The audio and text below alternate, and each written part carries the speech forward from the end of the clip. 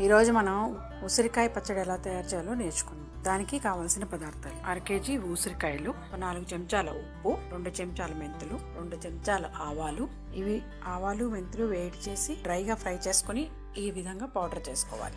Half tea spoon ఇంగువ ఐదు tea spoons కారం పొడి కప్పు ఆయిల్. ఉసిరికాయని ఈ విధంగా ఈ గీతలున్న చోట చాకుతో ఘాట్లు పెట్టుకుని పెట్టుకోవాలి.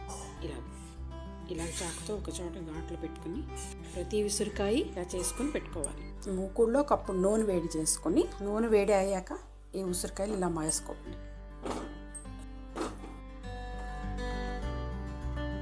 ఈ రకంగా మూత పెట్టేసి ఒక పదిహేను నిమిషాలు మగ్గబెట్టుకోవాలి.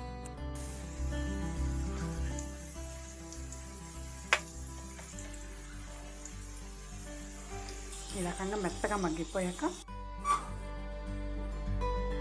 కాయల్ని ఇలా నూనెలోంచి వేరేగా తీసుకుని గింజలు తీసి పెట్టుకోవాలి. మళ్ళీ ఈ నూనె వేడి చేసుకుని వాడుకోవాలి.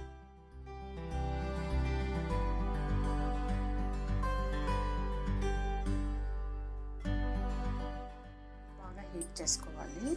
ఆయిల్ వేడవగానే ఆయిల్ వేడవగానే కొంచెం ఇంగు వేయాలి. ఇంగు వేసిన వెంటనే ఈ ముక్కలు.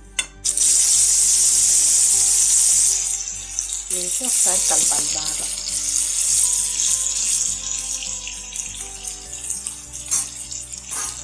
అందులోనే నాలుగు చెంచాలు ఉప్పు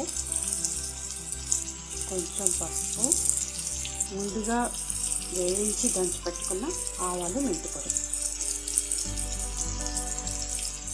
నాలుగు చెంచాల కారం. వేసి బాగా కలుపుకోవాలి.